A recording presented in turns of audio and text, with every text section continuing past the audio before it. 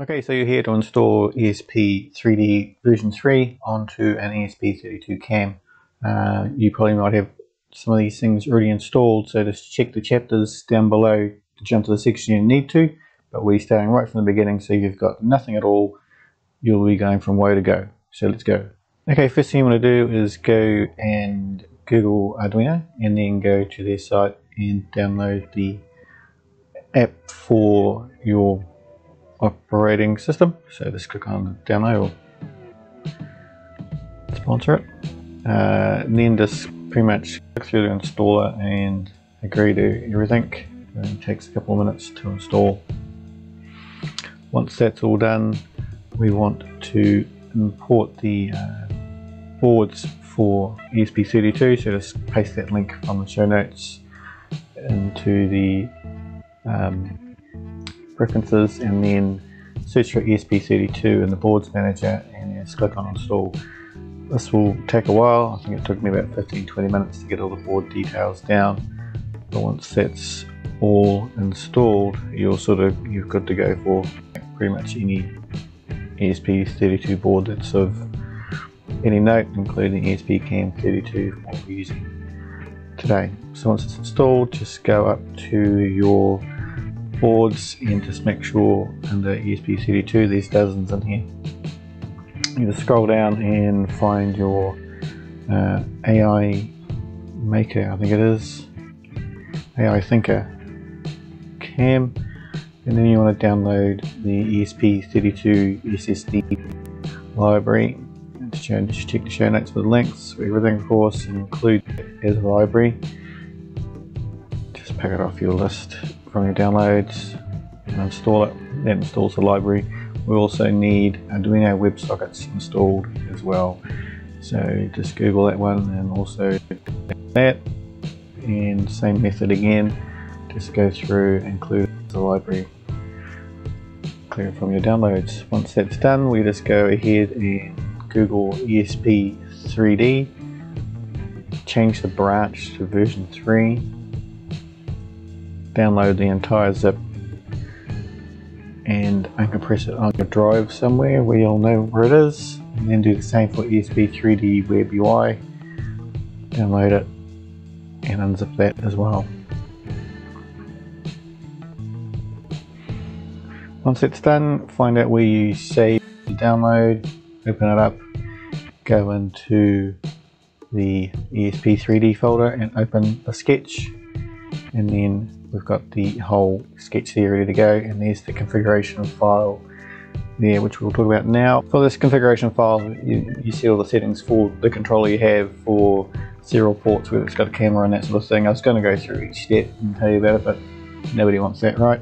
So I'm assuming you have an ESP cam 32 and so I might check my website I'll have the configuration file specifically for that, um, that hardware but there is a configurator configurator on the um, GitHub. For for that so you can go through and turn things on and off like um, cameras, serial ports and, and, things like that. But uh, I'm not going to go through it today. Uh, like I say if you've got the same hardware as mine just download my configuration H and it should just work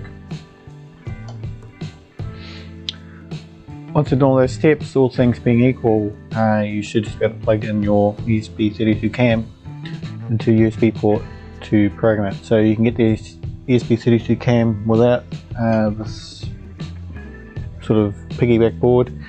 You can try and um, use it that way, but just get the it's like a couple couple extra bucks, all right? So just get the little piggyback board and plug your ESP cam into that and plug the USB from this into your computer and hit the triangle arrow at the top. Which looks like a play button and start downloading. It takes a little while. All thing like I say all things being equal it should work for me. Um, I did this whole install on a computer which has never seen Arduino or any of this software before. So if you're in the same situation it should just work. So once it's flashed you should start then seeing the extra access point on your um, computer called ESP3D. Just join um, that network and then you'll be presented with this UI where you've got a um, like a purpley folder button with a plus on it. Just click on that plus and then browse to where you've saved the uh, uncompressed web UI files and choose the file under version 3 dist printer 3d marlin index and open that and up, install it upload it and then click on refresh and the screen will refresh and you will have the new UI and this is uh, this is what it looks like when you first go in. So there's no nothing configured yet. So we'll okay. So next week or next episode depends when you found this episode. I'll go through configuring up the UI and getting everything sorted out there, including polling, um, setting up the time lapse photography, and getting the printer progress coming through to the UI as well.